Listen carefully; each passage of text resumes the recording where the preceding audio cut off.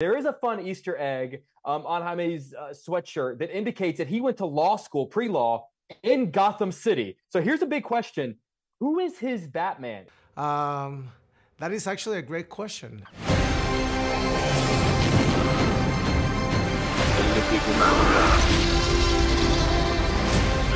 Where we're going, we don't need roads. Dude, I'm so jacked to talk with you, man. Thank you for taking the time. I appreciate you. Thank you. Thank you for being here. Pleasure to meet. Of course, man. Um, I'm going to start out with a very nerdy question, so please forgive me. Um, we obviously know that Batman exists in this universe. He is name dropped, but there is a fun Easter egg um, on Jaime's uh, sweatshirt that indicates that he went to law school, pre law, in Gotham City. So here's a big question Who is his Batman? Is it Ben Affleck? Is it Robert Pattinson? Is it Clooney? And do you think that he ever saw Batman while he was in law school? Like, are these backstories you have to come up with whenever you put that on his sweatshirt?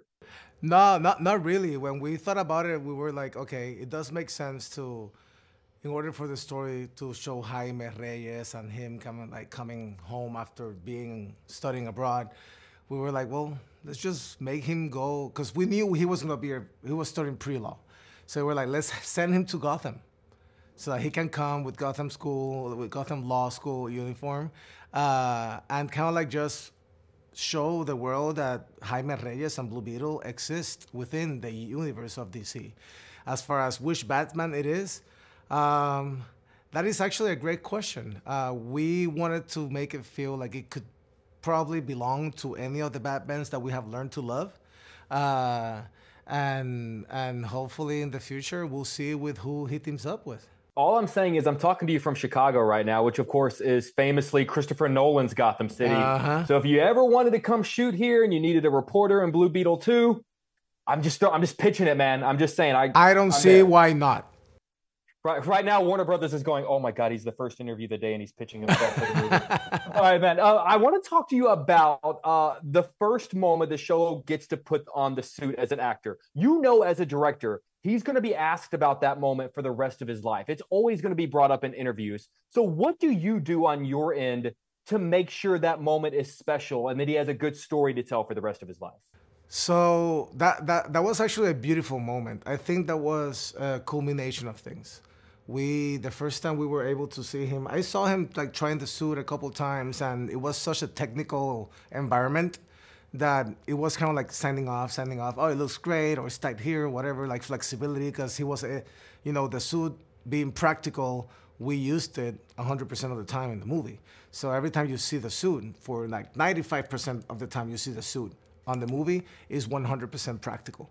So we needed him to feel comfortable because he also did some of the stunts too. He has that martial arts background, so it was very technical. But we we we did like this look and feel uh, video, and that was really like the first time I saw Xolo become Jaime Reyes and become the Blue Beetle, and it was when he had the suit you could see like his face, his hair, and he's like eating a taco at the edge of a building. And we were like, oh my gosh.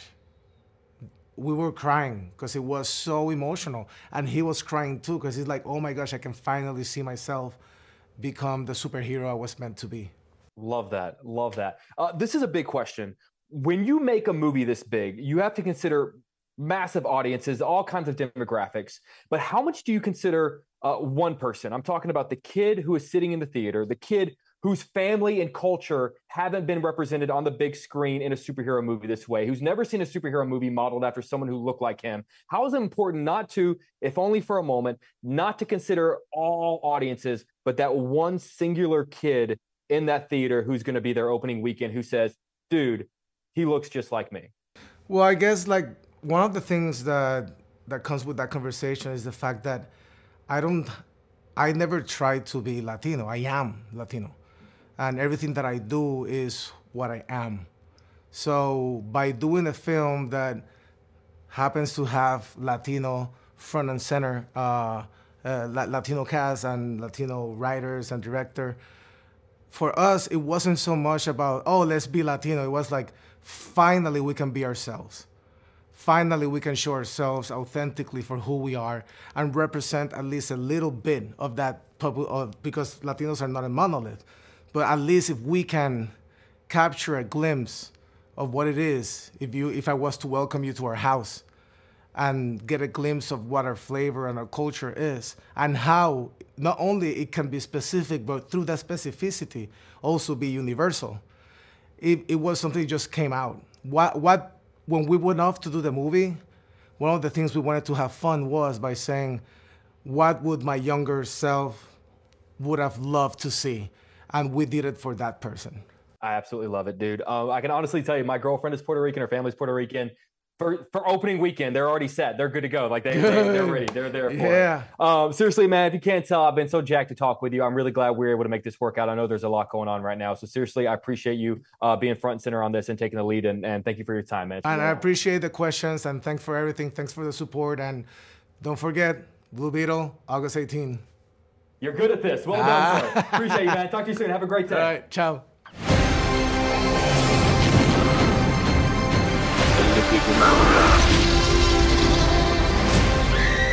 We're we don't need roads.